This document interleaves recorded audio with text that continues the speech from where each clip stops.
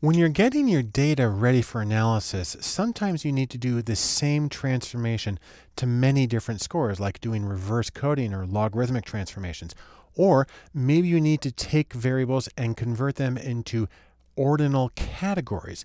I want to show you an example of how to use Jamovi's transform function to take z-scores and identify whether they are extreme or not using the plus or minus 2 standard deviations criterion. What I'm going to do is I'm going to come over here and click on this blank space, and then I get to choose a new transformed variable. Now, what I'm going to show you can be done with a computed variable, but the advantage of doing it with a transformed variable is it saves that transformation function, and then you can apply it to multiple variables at the same time if you want.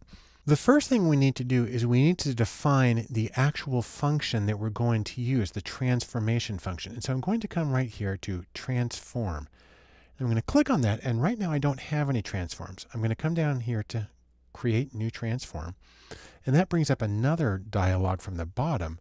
And now I'm going to label the transformation. And again, this is something that can be applied to multiple variables. And so it's not the name of a variable, but it's the name of what you're going to do to variables. And I'm going to call it extreme.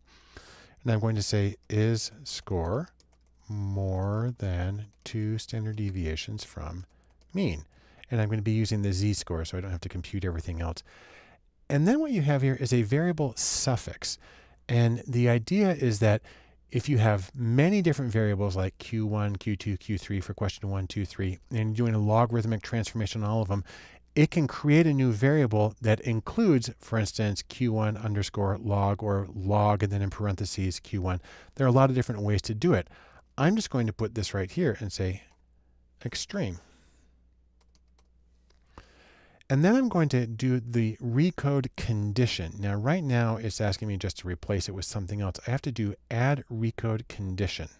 And source means the variable that you're starting with. And again, you can leave that there because you're going to choose that variable in the next dialog box.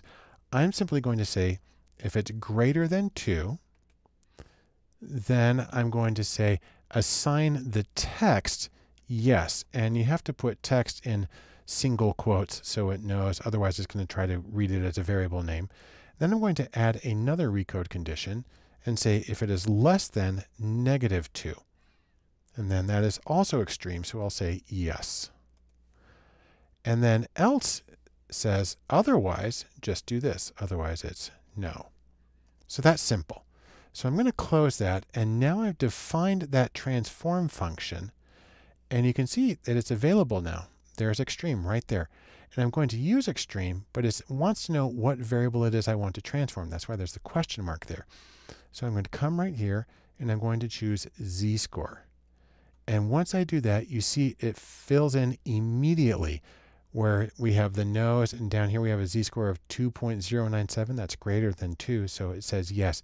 That's extreme. And this is a function that I could apply to other variables if they're on the same scale. And so it makes it easy to prepare a lot of variables sometimes using rather complex functions but rather quickly in a way that's easy to set up and easy to understand what's happening.